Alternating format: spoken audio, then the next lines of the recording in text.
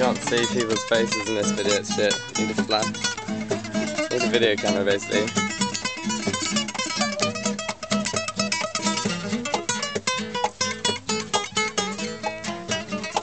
Thank you.